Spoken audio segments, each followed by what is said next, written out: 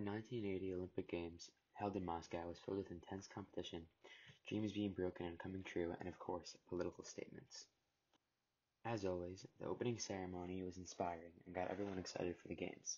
The torch was lit by Sergei Belov, a Russian Olympic medalist who won his medal in basketball. The ceremony also included a human tower and a ton of cheering for the hosts, the Soviets. At the end of it, everyone was excited to go out and compete for what they'd been working for their whole lives.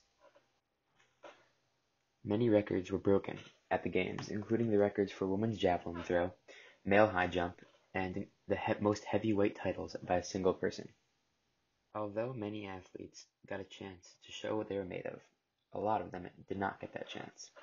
65 countries took part in a boycott of the Games, meaning that many athletes could not come and do what they've been practicing for their entire lives.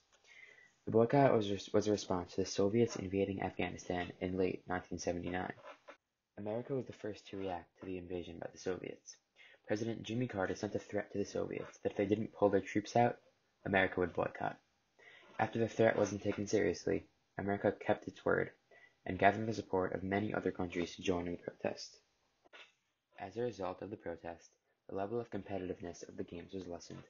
Less money was made as the usual amount of broadcasting networks could not come, and the intensity of the games was not at the level that it should have been and was at for many previous years.